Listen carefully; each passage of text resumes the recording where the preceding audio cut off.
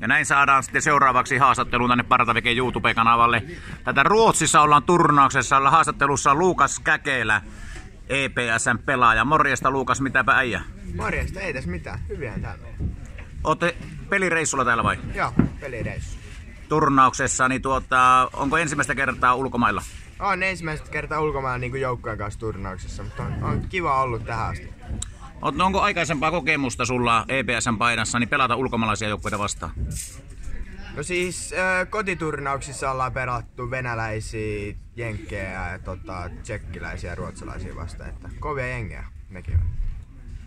On, poikkeaako tuo mitenkään pelata niin kuin suomalaista joukkuetta, mitä te nyt pelasta ruotsi, ruotsalaista joukkuetta yksi peli täällä takana, niin poikkeaako mitenkään? Poikkeaa, tosi paljon vauhdikkaammin luistelee ja liikuttaa kiekkoa ja niin tos, todella yksilöllisesti taitavia pelaajia. Eli sä näet näin, että siinä on iso ero? No on todella iso ero. Eli ruotsalaisjuniorit olisivat niin kuin taidollisesti eellä? No mun mielestä näin joo. Joo, miten muuten tuota noin, niin olette lähtenyt tänne joukkueen kanssa reissuun joukkueen kapteenina, niin saitko sä pidettyä joukkueen aisoissa tuolla laivamatkalla? No kyllä ihan hyvin, että ei siellä kukaan suuremmin urpoillut ainakaan. Että ihan hyvin se meni. Menikö jokainen ajoissa hyttiin nukkumaan? Joo, mentiin ja kaikki nukkui hyvin. Että. No niin, eli oot, tuota, noin, niin kapteeni näyttää esimerkkiä. Sä olit jo varmaan sitten kahdeksalta illalla nukkumassa. No en ihan kahdeksan, mutta aika lähellä. Kyllä. Minkälaista olla joukkueessa, tämmöisen joukkueessa kapteenina? Minkäla- miten tota, no, niin koet tuon kapteeni, kapteeniuden? No siis niinku, tosi, tosi mun mielestä kivaa ja niinku saa olla esimerkkinä ja kyllä nämä hyvin tottelee ainakin. Että kyllä se on mun mielestä tosi hyvä. Miten Lukas sitten, tuota, tai Lukas, niin, niin onko sulla jääkiekkoa idolia? Kuka sulla olisi tuommoinen esikuva? No varmaan Alexander Barkov tai Sidney Crosby.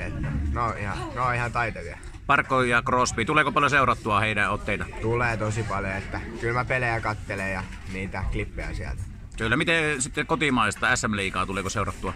No tulee ja kyllä se Tappara on se juttu siellä SM-liigassa. Oho, ja vaikka Espoossa asut, niin on Tapparamiehiä. Joo, joo, kyllä siellä. Kyllä, no en tuleeko yhtä mitään veikkaat Oulun kärpät nyt IFKta vastaan välierät 2-2 ennen tämä illan. Nyt on perjantai meno, tänään tulee kolmas peli Raksilaan. Kummalle Espoon mies heijaa?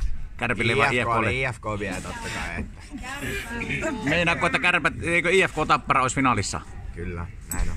Joo, no sitten jos tota, tähän haastatteluun loppuun vielä, niin sulla on mahdollisuus lähettää jollekin terveisiä.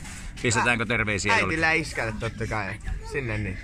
Kotiin päin. Ko- koti-Suomeen terveisiä. Koti-Suomeen terveisiä. Siinä menee terveiset perille. Kiitoksia oikein paljon haastattelusta Lukas Käkelä ja toivotaan oikein paljon tsemppiä tähän Ruotsin turnaukseen. Kiitos.